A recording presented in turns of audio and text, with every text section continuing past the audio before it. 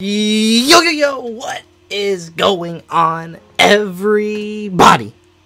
It is D-Man coming back at it again with another YouTube video, and today we're going to recap day four of Titans training camp. We'll remind you that we, uh, or the Titans, will not be on the field tomorrow, as it will be a day off.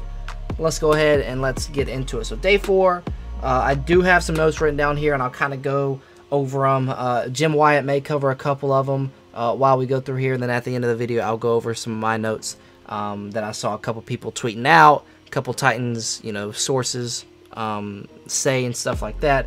Let's go ahead and get into it. We see everyone warming up here. Um, uh, I believe no Josh Reynolds again today. Um, uh, we'll get into a couple of players um, that played well, a couple of them. Um, especially the kicker situation is, is kind of concerning me a little bit more, uh, but we will get into that a little later. Uh, and the newest Titan on the team, Luke Stocker, was on uh, on the field this morning, so that was fantastic. Um, great to see him immediately on the field, um, having an impact. So um, awesome to see him there. Uh, as, as, we see AJ Brown getting some footwork in. Today. Uh, Julio's out there as well. You guys see him in the background, number two. Um, there's a little drill by AJ uh, there. Let's keep on moving here. Uh, AJ Brown, a lot of separation is, is made right here. This is insane. Again, who is that in coverage? I'm not sure who that is, but you know, it's AJ Brown. So AJ Brown's going to win most of these one-on-ones, especially with uh, with no safety in play. It's it's very tough to cover AJ Brown one-on-one. But there he is, a little highlight there for him. Uh, very bad news today. Briley Moore just left, um, or not just left, but left this morning on a on a practice car. So um, apparently it was a very bad knee uh, injury. He, yeah, I heard some people say he was clutching his left knee um, and he was pretty much carted off the field. Not something you want to see, especially from a guy trying to make the roster. So um, you just hate that. You hate, absolutely hate that. Um, you know, guys are given opportunities, trying to make, you know, make a great effort to make the team, um, and, and you know, just stuff happens. You know, stuff happens, and unfortunately, bad news. Briley Moore um, injured. I have no details on the injury. Just know that he was carted off. So, um, unfortunately, that was kind of upsetting for me because I, I, really, really want everyone to stay healthy in training camp because there's a lot of guys trying to make the cut uh, across the NFL, and injuries are just a thing of, of, of sports, and it happens. Sometimes it's you know non-contact, you can't help it, you know, but just so unfortunate there. Uh, but we keep on going here. Derick Roberson just left practice early. Have no idea why. That was just tweeted out. Um, two picks for Janoris Jenkins today, so that's a good sign. Uh, Janoris Jenkins uh, has not been, um, I don't want to say not playing well, but hasn't been playing up to par or hasn't been playing up to what I want him to and what I expect him to. Uh, but today, definitely a bounce back day for him, having two picks. Um, so that's some good news there. We also see Breon Borders getting an interception today, so he continues to play well, continues to shine. Breon Borders might be that diamond in the rough that we might see absolutely shine this year uh, for the Tennessee Titans. So that's some good news. We saw Julio in the press conference today. I highly recommend you guys go watch that. Awesome stuff there. Talks about A.J. Brown, talks about fitting in on the Titans. Um, great stuff there. Recommend going and watch that, uh, but we will not hear. Um, again, he talked about a lot of stuff. AJ Brown also um, was on the press conference today. He also was talking about Julio, you know, and, and the younger guys, Racey McMath, Dez Fitzpatrick. He, he had some high praise for them as well. Um, you know, great stuff there. Great stuff there. Uh, and this is what I was just talking about. Uh, said Racey McMath reminds him of Julio, which is some high praise there, but take it with a grain of salt because you know, we know who Julio is. We know who Racey McMath is. Racey McMath definitely has potential, but we just have to wait and see on that. Um, let's keep on moving here. Uh, we saw Titans Amy on NFL Network with uh, LaDainian and That was, that was pretty cool. They interviewed Julio and I believe AJ Brown. We see here.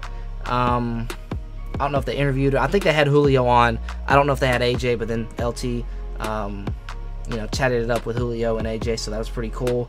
Uh, and then we see Big Jeff, one of the more underrated Titans on the team. Definitely had one of his best years last year. Just keeps getting better year after year. Uh, it looks a lot more, or I shouldn't say a lot more explosive, but it just keeps, um, you know, he looks really explosive. Um, so that's what you want to see out of your D lineman. Um, um, yeah, there was a couple of high school teams out there today. Um, I think there was a total of three high school teams and then also like a flag football team. Um, so that's awesome too. Uh, one on ones. Uh, this is Anthony Firkser here. Um, see if I can point out some guys here for you guys. That's going to be NWI on couldn't see the number. This looks like AJ Brown. It is AJ Brown. I think that's the same one we saw earlier today. Uh, earlier in this video, I should say. That is, is that Darrynton Evans? I think that was Darrynton Evans. This looks like that's Dez Fitzpatrick. Okay. Um, defense. I, heard a lot of the the defense played well today in seven on seven, uh, and you can see it on the one on one drills too. Not a lot of completions. Um, mm, um, but yeah, back up to, to the top with Anthony Firkser there. Um, let's keep on moving here. Harold Landry, uh, the newer Titan John Simon and Rashad Weaver today.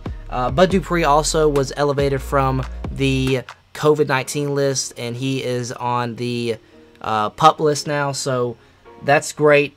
It's just a time will tell whenever he can get back on the field and go. Obviously, we're taking that um, very slowly. Bud Dupree, uh, we want him to be almost 100% before we get him out there on the field. We don't want to risk of re-injury or anything like that. So definitely taking time uh, for him to recover, and especially um, with us paying him 80 million dollars. Uh, we definitely don't want to risk injury there. So um, he isn't yet to see the field, but hopefully he'll see the field soon uh, for us. But there's your outside linebackers: Harold Landry, John Simon, and Rashad Weaver. John Simon, I think, was an excellent pickup. Uh, I think he's going to be a great, uh, a great rotator piece, a great veteran to have. Um, just like you know Luke Stocker. Um, very excited to have him as well, and the young guy Rashad Weaver as well. So uh, you know I think outside linebackers, uh, Harold Landry is going to take a lot of snaps off, which is fantastic. He's going to be more explosive this year. Hopefully, he'll get more sacks. We just can't drain him of his energy uh, and have him playing 90% of the snaps. That's just, you can't have that. But with the additions we made this offseason, I think he's going to be able to take some uh, snaps off. So that's going to be great stuff. Great news there. Keep on moving here. Um, Denico Autry and Big Jeff here on the sled. Um, yeah, both Mississippi State guys. Uh, honestly, did not know that Denico Autry went to Mississippi State. So now I've learned something new. But yeah, Denico Autry, Big Jeff there. It's going to be a scary duo in the middle for the Tennessee Titans. Um, Janoris Jenkins, like I said, he played very good today. Had two picks um, on a day when the defense played with swagger. Like I said, the defense played very well today. Uh, very good today. So that's really good. That's what we want to see, obviously. Um, the defense has got to improve from what it was last year. Hopefully, we can, and I believe we definitely can. It just depends on how much we can improve. Um, Harold Landry today as well. A couple of one-on-one works, uh, one-on-one work there. And then again, he gets into a little interview too. So again, if you guys want to check this out, Jim Wyatt's Twitter will be down below. Go ahead and click that link, and you will be sent right here, and you can watch all these interviews as well. Um, let's keep on moving here. You see AJ and Julio there. Um, that might be the thumbnail. I don't know. It might be either Jackrabbit or this right here. But man, oh man, that's gonna be a scary duo. I, I, you know, I've, I've talked about it a lot, but man, Julio and AJ Brown on the same team, that's very scary. Um, again, here's AJ Brown once again. He's talking about Julio Jones in this one. Um, we won't watch that. And then we have tight end um, Pinkney here, another interview. So nothing too special, and that's gonna do it. So, um, really, the key takeaways and notes I'll, I'll, I'll go ahead and add on today. Um, obviously, Bradley Moore, unfortunate for him. Uh, Josh Reynolds again was not there today. Um,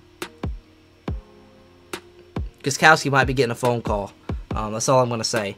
Uh, but McCann missed from 33 and 42, who was the guy that I thought was going to get the job. And then I believe it's Hubel, Habel, whatever his name is. Uh, he missed horribly from 50. So, um, that's the uh, the tweet from Paul Kuharsky. Um, uh, so that's just something that we need to take note on. Kicker is a very important position in football.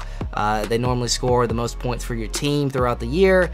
So, you know, you want a guy that can put it through the uprights, and we just don't. We the two guys we have, they're they're struggling right now, and, and it's it's it's going to be a whole lot different in game. Uh, so, you know, we also worked out another kicker today uh, from I believe he was from the Canadian Football League. Um, don't even want to try and pronounce his name, but Lirim Hajrullahu. That was absolutely butchered. I already know, but I tried my best. Um, he had a workout with us today. Um, don't know how that went. Haven't heard anything on it. Um, but you know, I just want a guy that can kick balls through the upright and you know can stay on the team.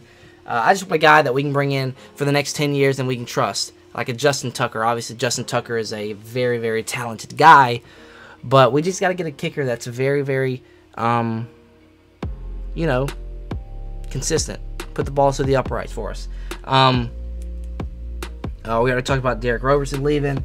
Uh, we had a little bit of this is from Tehran Davenport uh, altercations today. Nate Davis and Teair Tart got into it. That's what you want to see at training camp. This is not a bad thing. This is definitely a good thing. Competition is what you want to see at training camp, especially with this team. The Tennessee Titans have literally only maybe three positions that they need to figure out who's going to be starting there, and that's probably right tackle. Uh, definitely right tackle. They got to figure that out. So right tackle, I would probably say some cornerback position, whether it be cornerback one, two, three, somewhere in there. They got to figure something out there, and then obviously kicker. Um, so you talk about only three positions because you look around at the offense. You already know quarterback, running back, receivers. You already got your first three. Uh, then maybe decide on wide receiver four, but really that's pretty deep into the roster. Uh, you know who your fullback is. Uh, we know who our entire offensive line is, except for right tackle. We know our tight end is with Anthony Firkser. So the offense is pretty much we to know what it's going to be looking like, except for right tackle. And then you move on to the defense. Uh, obviously, outside guys, you're going to have, excuse me, you're going to have Bud Dupree, you're going to have Harold Landry.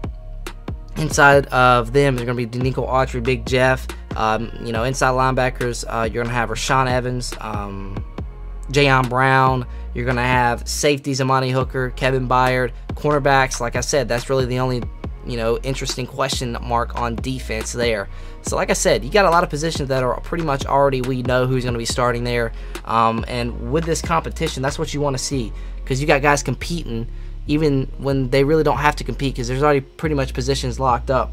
Um, so that's awesome to see. Competition is always what you want to see. Um, uh, also got word on Nate Davis and David Quessenberry yanking helmets with Denico Autry and Big Jeff. Don't know if that was anything like being funny or if that was real really serious. But either way, it's it's all good because you want to see competition and you want to see if it's competition, that's great. And if they're just being funny, hey, that's what teammate. You know, you want to have that. You know,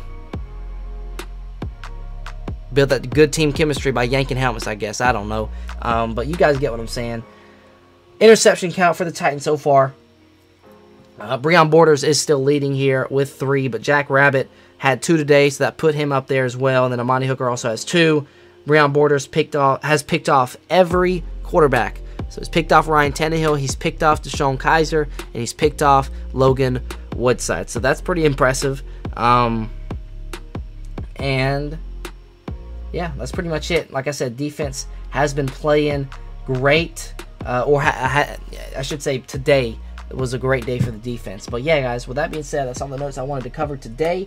feel like we got through that pretty quickly. Um, but yeah, again, like I said, link will be in the description if you want to watch any of these interviews. Uh, but with that being said, let me know your comments on today. Again, day off tomorrow, so be on the lookout uh, for day five. But with that being said, that is going to do it for the video. Hopefully you guys did enjoy. Until next time, I'll see y'all.